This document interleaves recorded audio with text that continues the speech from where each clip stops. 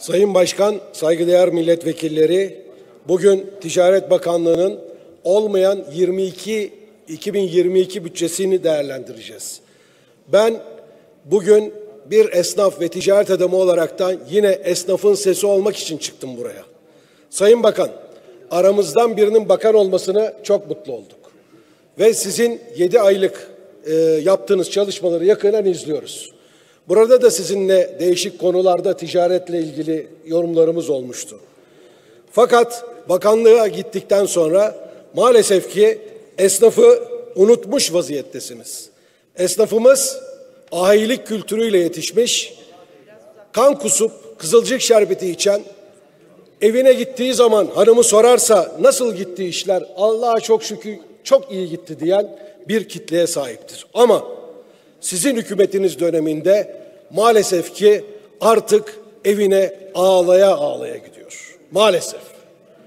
Ticaret Bakanlığı olarak baktım. Ticaret Bakanlığı'nın görev ve yetkileri var. Bilmiyorum siz incelemiş miydiniz?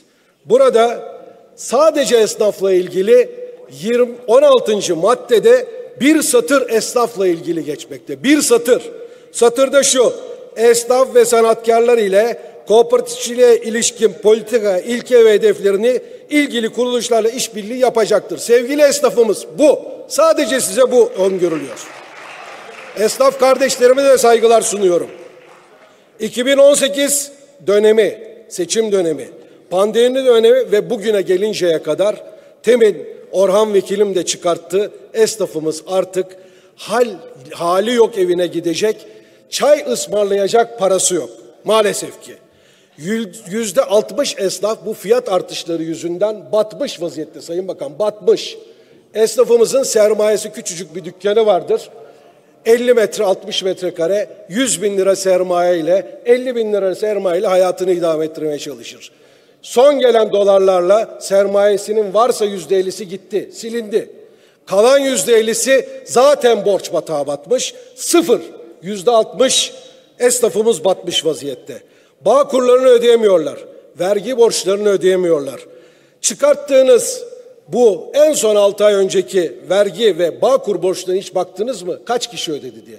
Yüzde doksanı ödememiş. Yüzde doksanı ödeyememiş. Tekrar çıkaracağınız, tekrar havuç sunacağınız vergi şey, e, kredilerle ilgili hiçbir esnafımız kredi almak istemiyor. Borçlanmak istemiyor artık. Borçlanacak hali kalmamış. Ben diyor vergi borcum var. Bağkur borcum var. İhaleye gireceğim 10 bin liralık. Sen diyorsun ki esnafına git vergi muafiyeti veya vergi borcun yok mu diye kağıt iste. Yok. Hali yok adamın. İhaleye girecek hali kalmamış. Nasıl girsin ihaleye? Üstüne üstlük üç harfli marketlerde çıkartacağınız yasalar yasa yasa diye bu esnafımızın bel kemiğini kırdı. Ondan dolayı artık üç harfliler lastik satıyor, buzdolabı satıyor, mobilya satıyor, çerçinin ipini, çomağını, her şeyini satıyor. Baston bile satıyor. Esnafa ne kaldı ki satacak? Hiçbir şey yok. Hiçbir şey. 2 milyon 100 bin esnafım adına konuşuyorum burada.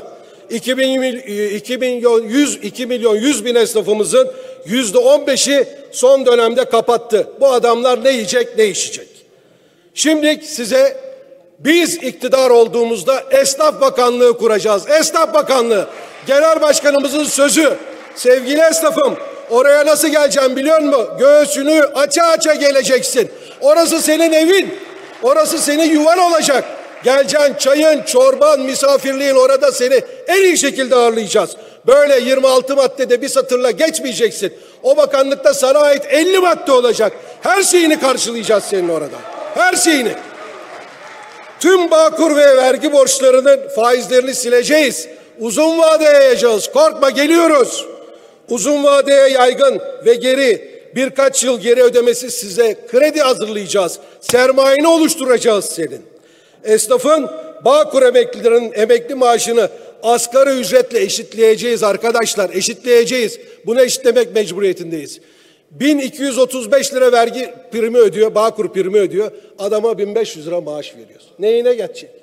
100 dolar, 100 dolar, 100 dolar emekli amcamın ne işine yarayacak? Sorarım hepinize. Ne işine yarayacak? 1500 lira yazıktır. En az asgari ücret yapacağız. Prim borcu Buyurunuz efendim.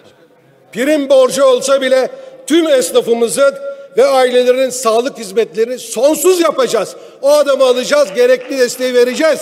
İki ay değil, sonuna kadar destekleyeceğiz onu. Esnafımızın emekli olabilmesi için en son 2000-2008 dönemi için tanınan geriye doğru borçlanma hakkını tekrar tanıyacağız. Türkiye'de esnafların faaliyet sürelerini kısalığı ve iflas etme oranlarının yüksekliği ortadayken 4A ve 4B'lerin sigorta prim ödeme günlerini eşitleyeceğiz. 7200 gün olacak esnaf kardeşim 7200 gün. Esnafın yaşı doldurana kadar isteğe bağlı olarak prim ödemeye devam etmesini sağlayacağız. Esnaf ve sanatkarlarımızın dört ağlılar gibi hastalık ve ayakta tedavi gördüğü süreçleri kapsayan geçici iş görmezlik ödeneği alabilmesini sağlayacağız. Tüm esnafımızın çırak olarak çalışmaya başladıkları tarihi sigorta başlangıç tarihi olaraktan alacağız. COSGAP